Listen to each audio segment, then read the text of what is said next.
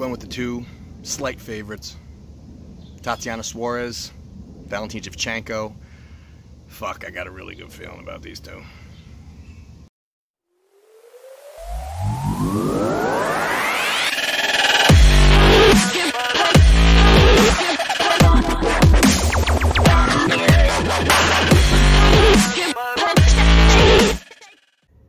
Welcome to Kyle Anthony's UFC betting show. I am Kyle Anthony, and welcome to the podcast. Welcome to the prediction show for UFC 238. Marlon Moraes versus Henry Cejudo. We're going to talk about our two plays that we currently have for purchase on Wager Talk. Very excited to talk about both of those on the Bet Review Show on Sunday. Definitely take a look at those. And also, we're going to talk about two free plays as well. So we're going to get into all of that. But before we do, do not forget to subscribe, like, head kick the bell icon, get involved in the channel. I always appreciate everybody who hits that thumbs up button and also comments down below. Always appreciate it. And after every video, I do continue the conversation down below. So the first thing we are going to talk about here, and we're going to run through these a little bit quicker today, a little bit of a time constraint, but we're going to get through this today. Um, first, we're going to talk about is one of our free plays is between Aljamain Sterling versus Pedro Munhoz. This one is a fun fight. Uh, it's on the uh, the prelims. It's a fight that I think is a little bit under the radar. There's so many great fights on this card, especially in the on the main card. This one here, I liked what I saw.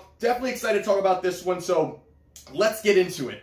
Uh, the first one we're going to talk about here is we're going to talk about Pedro Munhoz. Now, I think this is an interesting line here. You've got Pedro Munhoz, slight uh, slight underdog, plus 106. You've got uh, Aljamain Sterling, who is minus 128. Now, Pedro Munhoz, everyone right now has that in their mind of him knocking out Cody Garbrandt in his last fight. Now, that was an interesting fight, and that's something right away that I definitely want to talk about just because of the recency bias kind of thing here. Now, you've got Cody Garbrandt, and now I, I can't. I'm a guy that was on the Cody Garbrandt train. I was there. I was with him through the, uh, you know, I, I, was looking at him towards the, the, the, TJ Dillashaw. I bet him uh, the TJ Dillashaw fight. Didn't win there. And I didn't bet the, the, the Pedro Munhoz versus Cody Garbrandt.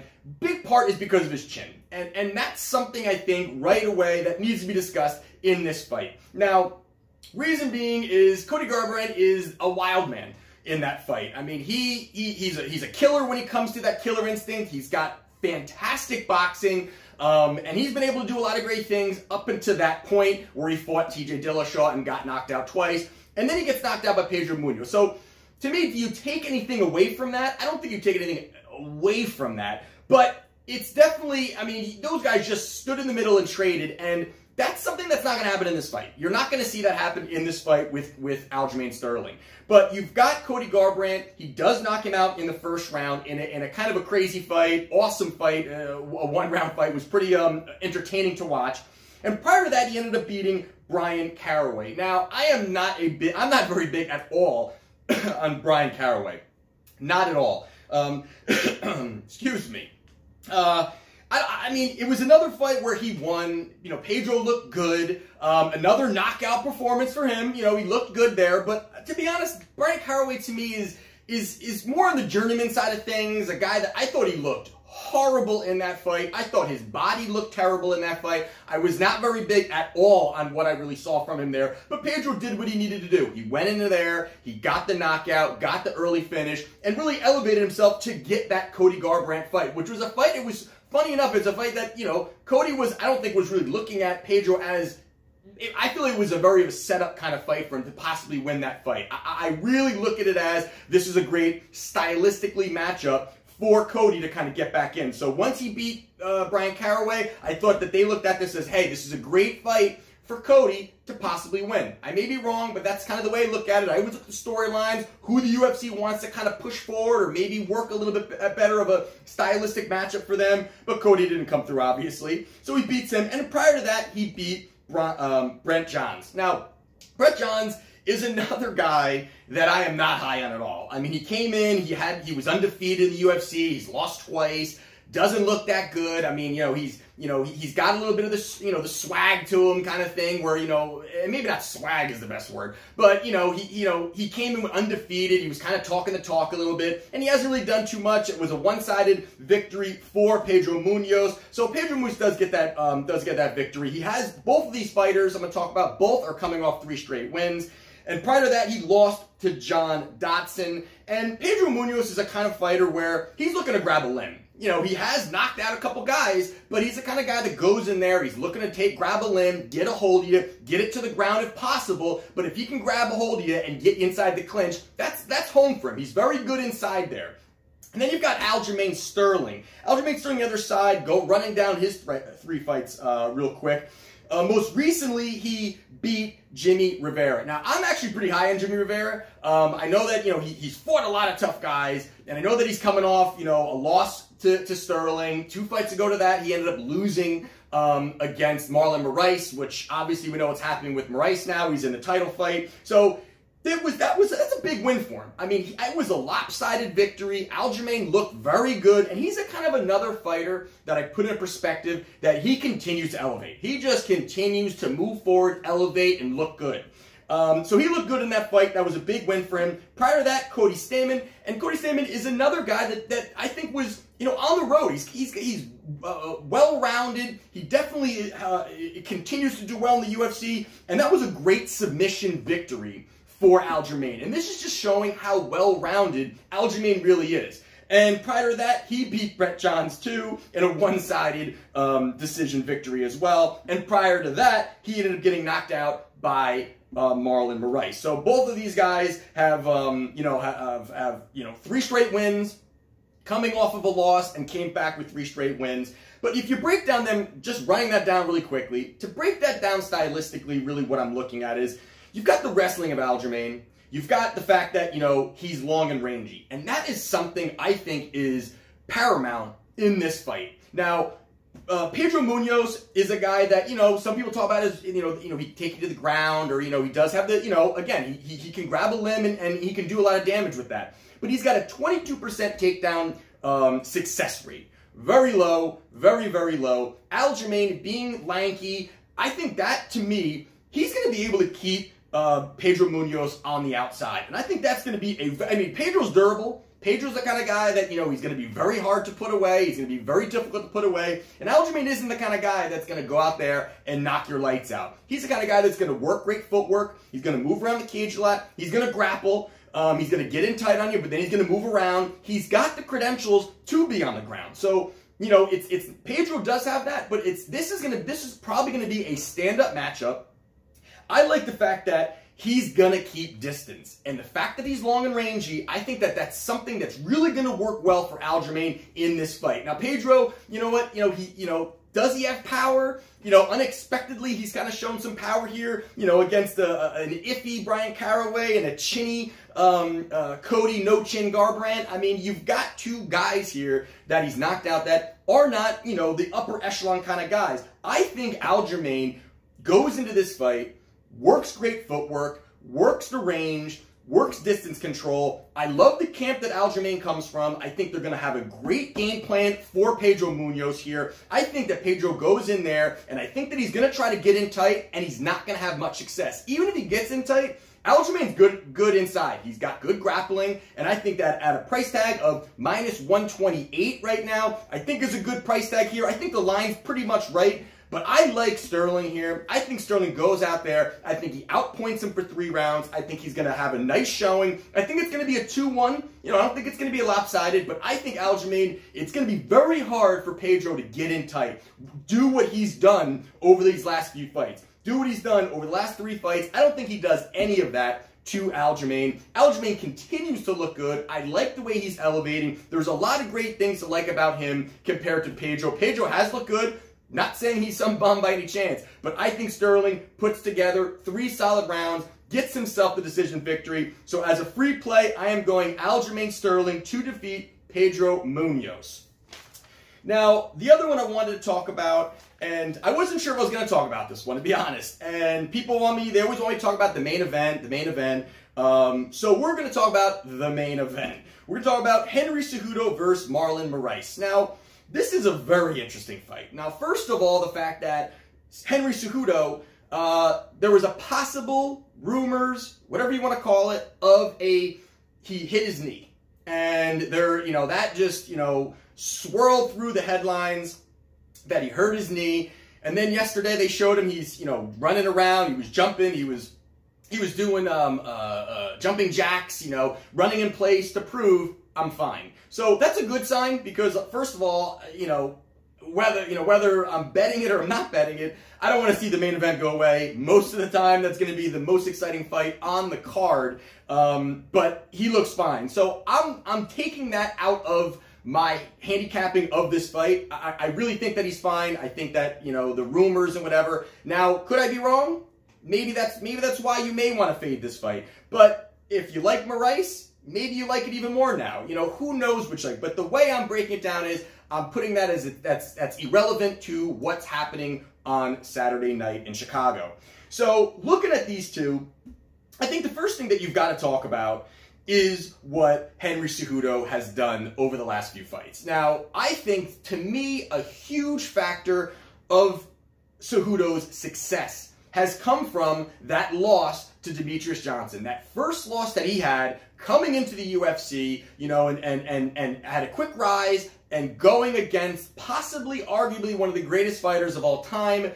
We don't have to get into that debate, but a lot, you know, uh, you know, pound for pound, one of the greats. Um, and he goes in there the first time and he loses. And I think that loss really sunk so deep that it refocused him, it re-energized him, and it realized, you know what, I am a gold medalist wrestler, and you know, poss- you know, easily the best wrestler in the division, possibly one of the best wrestlers, up there with, you know, you know, um, you know, Daniel Cormier. You know, he's up there. He's up there with those guys. You have to put him up there with those guys, and you know, he didn't do what he thought he would do. And I think that refocusing is very, very interesting to see what happens. And you see, take a look, uh, he went out there and, you know, he beat three really tough guys. You know, going out there, uh, Sergio Pettis, I'm high on Sergio Pettis. I know that he's had some ups and some downs there, but Sergio Pettis is tough. And he beat Sergio Pettis in decision, and then he goes out there and has a decision victory against Demetrious Johnson in their second time. And I think that fight, don't have to dive into it. I'm sure everybody has saw it. I don't have to go play by play, round for round. But that was a really, really great fight for him. Now, DJ is tough to take down. He's great everywhere. He's fast. He's got insanely creative strikes. You know, the way he moves, his cardio's off the charts. I mean, all these things are great. And Henry Cejudo had a great game plan. The way he was able to get on top of him, wrestle him, work him. Such a great strategy. And he goes out there and he beats one of the greats of all time. And then after that, he goes up against TJ Dillashaw in a fight where, you know what, a lot of people were looking at TJ here and saying, and, I did take Henry Cejudo in that fight. A lot of people were looking at TJ and saying he's going to wipe him clean. This is going to be kind of crazy that, you know, he's going down in weight, but, you know, Henry Cejudo, is he that good? And the fact that he goes out there and knocks out TJ in the first round in impressive fashion, dropped him a couple times, was really impressive for a guy that is a wrestler. I mean, Henry Cejudo is a wrestler, and he's striking, and the way that he has really adopted that karate stance, that wide karate stance, he would be able to go over and kind of move, and, and, and, it almost gives him more of a flowing movement compared to the way he used to fight, where a little, little more tight, a little more, you know, not as fluent, not as just comfortable. And I think that style has really worked well how he's doing his striking, how he kind of leaves that hand out and kind of paws at his opponent to try to get in his face a little bit to kind of offset his rhythm. I think that's very interesting to see what he's adopted. But I will get into a little bit more of the styles in a minute. The um, and then you got Marlon Moraes on the other side. Now, Marlon Moraes is an elite kickboxer. You know, he's got KO power going out there. He knocked out um, uh, Sterling. He goes out there and he, you know, um, knocked out Jimmy Rivera. I mean, he has looked really spectacular, beating Assunção. I mean, he has looked great. Now, the thing that when I'm going there and I'm breaking this down, now obviously he's got um, Brazilian Jiu Jitsu credentials. There's no doubt he has that. But when you take a look at who he's fought, now I know that the camp he comes from, he's got Frankie Edgar there, and that's a big thing too. But he has never come close to facing anybody of the wrestling of Cejudo. Now, that is, you know, obviously Cejudo, you know, you could arguably say he's never faced anybody of the caliber of Moraes. But you have to say, well, he's faced TJ. Now, TJ, um, TJ and DJ, um, he's, he's faced both of them and beat both of them. They're not the size, they're not the strength of Moraes. Of course, that's definitely something too. But you've also got to put in the fact that Moraes has never been in a, in a position this big in his career. Now, I know that again, it's the same thing. People are going to say, hey, he's been in title fights in the World Series of Fighting, and, you know, I mean, he's had some main events, but they were, you know, you know, random places. They weren't really these big, there was no pay per view. And you've got Cejudo, who has been through a couple of those. He's been through basically a super fight recently. Uh, prior to that, he fought the greatest of all time, beat him also too. That's a lot of great things to say about Henry Cejudo. The big X factor is going to be what Henry Cejudo now moving into this uh, upper weight class, what does that do to him? Now, they've shown pictures of him. He looks like a monster. He looks for, for a guy who's so small and compact, he looks pretty jacked. Now, that is a great thing, but it also does that hurt his cardio. And that's going to be really the, the, situation there is, does the, the adding that muscle help him, hurt him? What does that do? For me, the way I'm breaking this down, I really think that Cejudo, that first explosive move that he has now, I think is such a difference maker for what Moraes has seen. Now, it, again, Moraes is tough.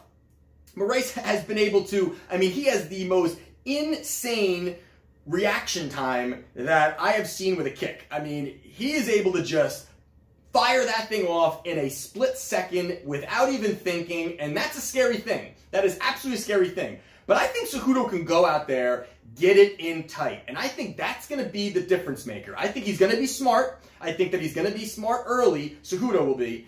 But I, you know, he's going to know that he can't stand and trade with Moraes for five rounds. He can't do it. it. it. just can't happen. He does not have the, the power. He does not have overall just the weapon and the arsenal that Moraes has. But I like Cejudo here. I think Cejudo gets in tight for the majority of this fight. And as I was saying with Dan Tom and any of the any of you that want to check that out, it is up on his channel um, and up on his Twitter account as well. But um, when we were talking about it yesterday on his show, you know what? It, the big question is going to be if Cejudo goes in that first round or that second round, either of those first two rounds basically, and is able to dictate the pace and get on top of them and get close, bring him to the ground and bring Moraes to the ground, that's the game changer. That will completely change Moraes' attitude, what's happening, how he feels, is he going to drain him a little bit? And that's the question is, if, you know, if he gets in tight early, that is a game changer. And I think that's what's going to happen. That if Moraes is not able to really withstand the takedown, that Cejudo is going to be able to get him to the ground and he's going to be able to do what he wants to do with him there and force the takedown early. And if he's able to do that, I don't really see many other paths to victory. Now, Moraes, I don't think he wins a five round fight. I think if you like Moraes in this situation, you're going for the knockout. You're, you're, you're betting the finish. I don't think he goes out there and he pieces him up for five rounds.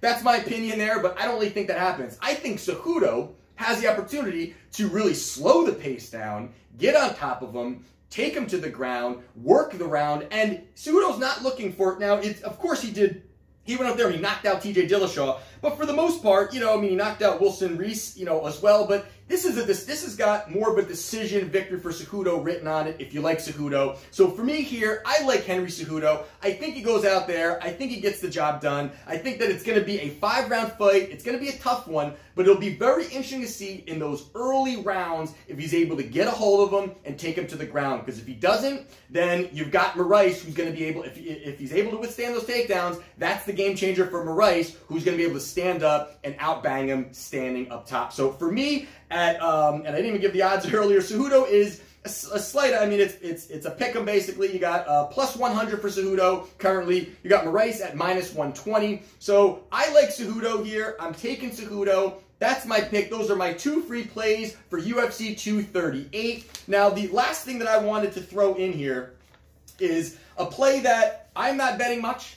I am not betting much at all on this, one, but I I like it as, as a big underdog play here, so figured why not talk about it. So those are the two main plays, and also that's that's the issue with doing this show. Also, is the two that I really want to talk about. Are my two plays that I have on Wager Talk. So I talk about those on Sunday after on our bet review show. So definitely take a look and uh, you'll see win or lose. You will find out who I had and the breakdown and my thoughts on that fight. But another one that I'm sprinkling in is between Jimmy Rivera and Peter Yan. Now, Peter Yan is is 12 and 1. He's minus 350. He's a big favorite. You've got Jimmy Rivera who's 22 and 3. He's plus 280 currently.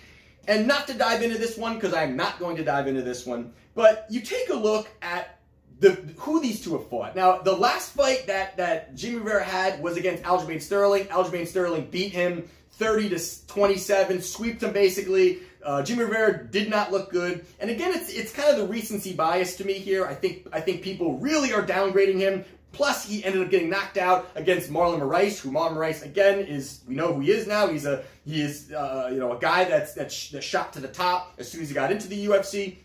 But you take a look at Peter Yan. He's got a lot of ability. He is very aggressive, a lot of pressure. You know, he, he definitely has some creative striking.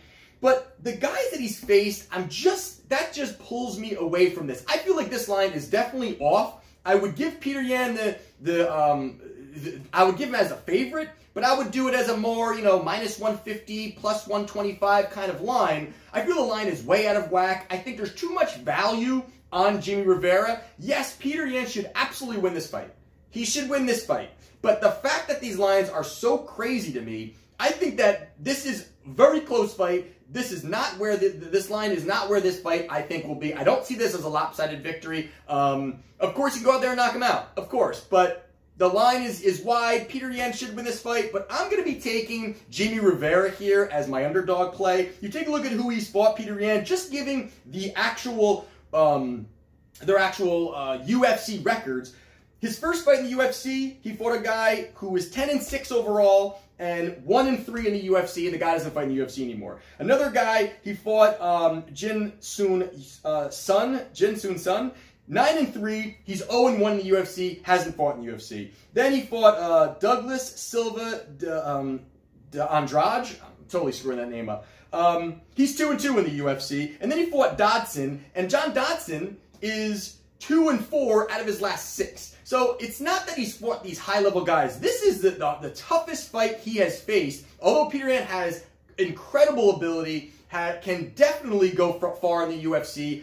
Definitely. But at this position here, very early, more of an unproven kind of guy. I like Jimmy Rivera again. Like I said, I think he's well-rounded. It'll be interesting to see what he does. As just an underdog play, little sprinkle for me here. I'm going Jimmy Rivera. I'm going out on a limb here. So those are my plays. I will have Henry Cejudo as a free play. Aljamain Sterling as a free play. Those are my two main free plays. And again, a little sprinkle on Jimmy Rivera. Those are the plays. Definitely stick around for the bet review show on Sunday. Comment down below. Let me know what you guys think. Always appreciate the comments. And this is Kyle Anthony's UFC betting show, and I'll see you Sunday on the bet review.